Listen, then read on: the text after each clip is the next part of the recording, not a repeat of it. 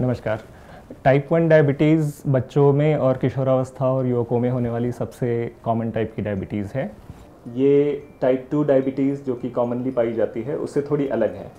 Type two diabetes आमतौर पे मोटापा, ख़राब खान पान या जेनेटिक जेनेटिक वजहों से हो सकती है। जबकि टाइप वन डायबिटीज़ शरीर में इंसुलिन हार्मोन की कमी की वजह से होती है। हमारे शरीर में इंसुलिन काफ़ी महत्व का एक हार्मोन है, जो पैनक्रियाज से बनता है। और इंसुलिन, ये ऐसी एक ताले की चाबी है, जिस वजह से हमारा शरीर ग्लूकोज यूज़ कर सकता है। इंसुलिन की कमी में रक्त में ग्लूकोज की मात्रा बढ़ जाती है, जिसको कि हाई ब्लड शुगर या डायबिटीज़ कहा जाता है। इन चीज़ों की वजह से ज़्यादा पेशाब होना, प्यास लगना, वज़न घटना, ऐसी दिक्कतें हो सकती हैं। अगर टाइप वन डायबिटीज़ का डायग्नोसिस बराबर अगर टाइम पे ना हो ऐसे वक्त पे कीटोन्स नाम की एक सीरियस प्रॉब्लम हो सकती है, जो कि जानलेवा भी साबित हो सकती है।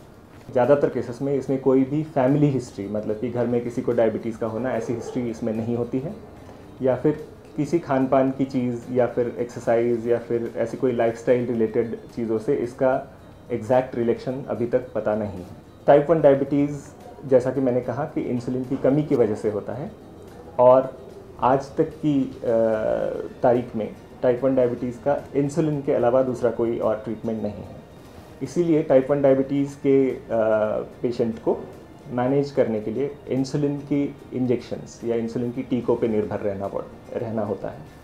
ये अक्सर दिन में तीन या चार बार इंसुलिन लेना, उसके साथ शुगर चेक करना, सही खान पान रखना एक्सरसाइज करना, वक्त पे मेडिकल चेकअप्स करना और डॉक्टर से मिलना और सबसे इंपॉर्टेंट इसके बारे में डायबिटीज़ के बारे में सब कुछ सीखना, ये टाइप वन डायबिटीज़ का सही ट्रीटमेंट होता है।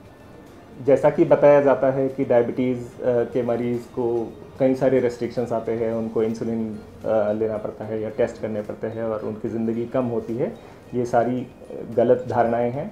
आज की जो इलाज है, उससे ये संभव है कि टाइप वन डायबिटीज़ का जो इंसान है, वो बिल्कुल नॉर्मल ज़िंदगी जी सकता है। हमारी प्रिंसिपल या फिलॉसफी ये है कि डायबिटीज़ का ट्रीटमेंट डॉक्टर नर्स या एजुकेटर नहीं कर सकते हैं। डायबिटीज़ का ट्रीटमेंट आप खुद कर सकते हैं और उसके लिए हम आपको मार्ग दिखा सकते हैं।